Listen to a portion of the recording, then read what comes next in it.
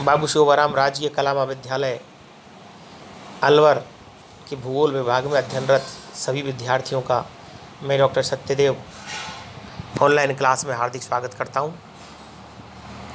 आज की क्लास में हम जिस टॉपिक के बारे में चर्चा करेंगे, उस टॉपिक का नाम है महासागरीय उच्चावच हम सभी जानते हैं कि जिस प्रकार से धरातलीय भाग पर अनेक उच्चावच मौजूद हैं, ठीक उसी प्रकार से महासागरों के अंदर महासागरीय नितल पर उच्चावची भिन्नता मिलती है। अर्थात कहीं पठार, कहीं मैदान, कहीं कटक गर्त इत्यादि मिलते हैं।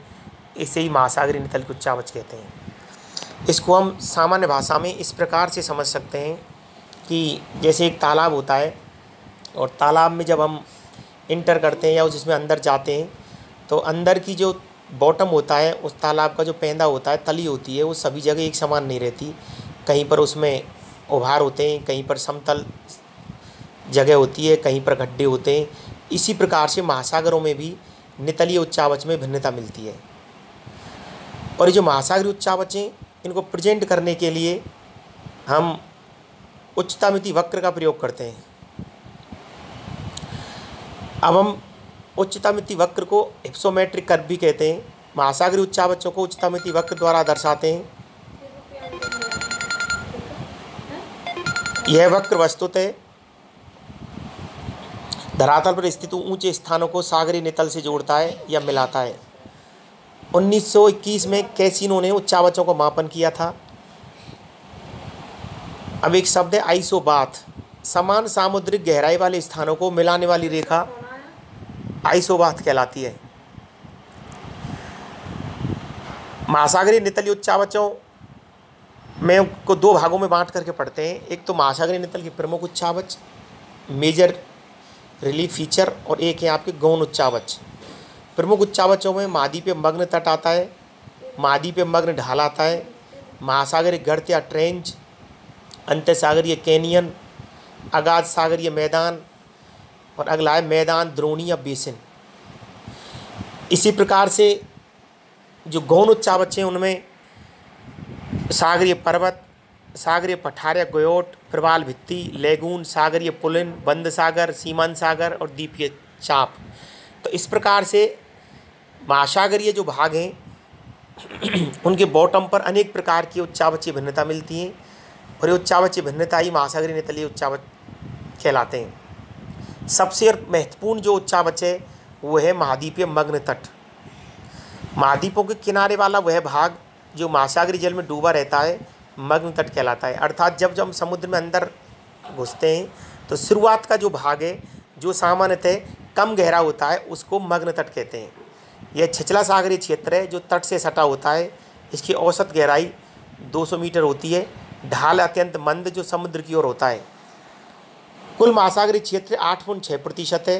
अटलांटिक महासागर का तेरह पॉइंट तीन प्रतिशत, प्रशांत महासागर का पाँच पॉइंट सात प्रतिशत और हिंद महासागर का चार पॉइंट दो प्रतिशत मग्न तट है। महाद्वीपों के छज्जे के रूप में निकले होने के कारण इसे महाद्वीप छज्जा भी कहते हैं। जहाँ तट के किनारे पर्वत मिलते हैं, वहाँ मग्न तट सक्र हैं, जैसे रॉकी और इंडीज, तथा इसके विपरीत जहाँ तटवर्ती क्षेत्र मैदानी है, वहाँ मग्न तट अधिक चौड़ा है, अर्थात तटवर्ती धरातलीय स्वरूप का प्रभाव मग्न तट की चौड़ाई पर पड़ता है। भोजन की प्रचुरता, सूर्य के प्रकाश और कम गहरे पानी के कारण निमग्न तट व्यवसाय के लिए उपयुक्त माने जाते हैं। आर्टिक महासागर का मग्न तट विश्व में सर्वाधिक 1280 किलोमीटर चौड़ा है। इसके साथ साथ उत्तर पश्चिम यूरोप में भी डॉगर बैंक तथा उत्तरी अमेरिका के पूरब में ग्रांड बैंक में मग्न तटों की चौड़ाई अधिक है। यहाँ पर ये ध्यान रखने योग्य बिंदु हैं कि विश्व के जो दो प्रसिद्ध मछली उत्पादक क्षेत्र हैं, एक यूरोप के पश्चिम में है, जो डॉगर बैंक के नाम से जाना जाता है, और एक उत्तरी अमेरिका के पूरब में जो न्यू फाउंडलैंड है, कनाडा और यूएसए के पूरब में, उसके पास है, उसका नाम है ग्रांड बैंक। यूरोप के उत्तर पश्चिम में मग्न तट लगभग 700 से 1000 किलोमीटर चौड़ा है समुद्र से प्राप्त होने वाले अधिकतर खाद्य संसाधन, मछली, प्राकृतिक गैस, खनिज, तेल इत्यादि संसाधनों की प्राप्ति मग्न तटों से होती है।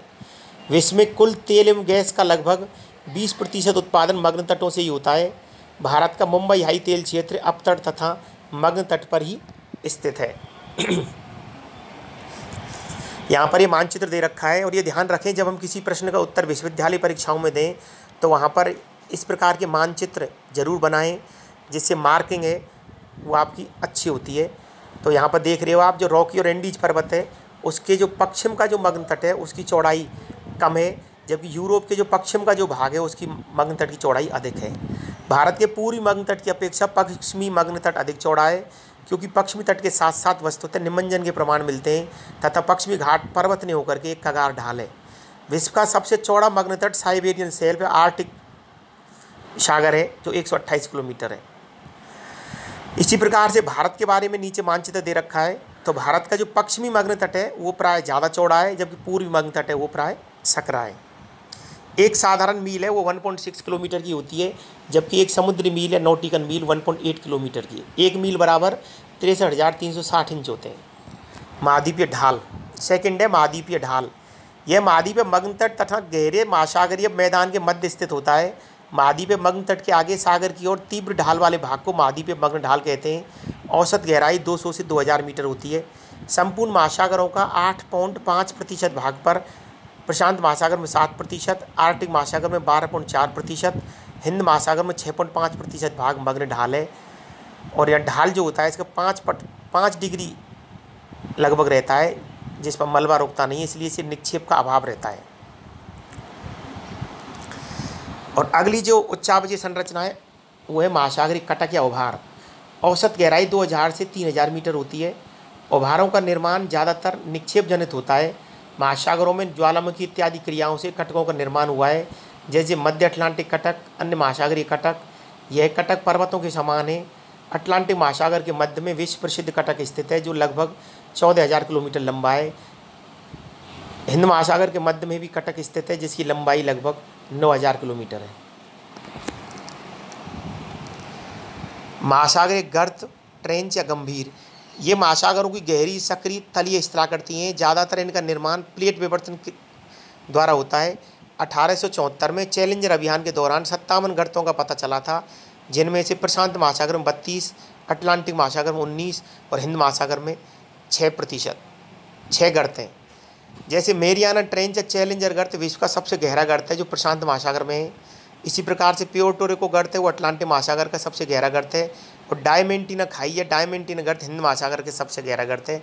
हिंद महासागर में एक प्रसिद्ध गर्त और है, उसका नाम है सुंडा गर्त। महासागरीय मैदान या बेसिन। अगाध सागरीय मैदान बेसाल से निर्मित संरचनाएँ तथा समतल एवं सपाट स्थलाकृति विशेषता वाली स्थलाकृति है। संपूर्ण महासागर का सत्तर प्रतिशत भाग मैदान है। प्रशांत महासागर का अस्सी प्रतिशत, हिंद महासागर का अस्सी प्रतिशत, अटलांटिक महासागर चौवन प्रतिशत अगाध सागरीय मैदान है। अटलांटिक महासागर में सागरीय मैदानों के अपेक्षाकृत कम विस्तार के कारण महाद्वीपीय मग्न तटों का अधिक चौड़ा होना है। औसत गहराई तीन हज़ार से छः हज़ार मीटर है। इनके कई उपविभाग हैं जो अनेक क्षेत्रीय नामों से जाने जाते हैं। संपूर्ण महासागरीय तली पर सर्वाधिक विस्तार मैदानों का ही है। इन मैदानों में सागरीय जीवों, पौधे, कंकड़, पत्थर इत्यादि का अभाव जमाव मिलता है। 200 से 620 डिग्री से 60 डिग्री दक्षिणी अक्षांशों के बीच इनका विस्तार सर्वाधिक मिलता है। और लास्ट है अंत्य सागरीय कैनियन। महासागरों के अंदर तट के सामने स्थित लंबवत कैनियन अंत सागरी कैनियन कहलाते हैं। विश्व में अधिकतर अंत सागरी कैनियन नदी मुख के सामने निर्मित होते हैं। महाद्वीप मग्न ढाल पर तीव्र ढाल वाली अंत सागरी कंदराओं को से कैनियनों का निर्माण होता है। इसी के साथ आपका बहुत बहुत धन्यवाद। Thank you thank you so much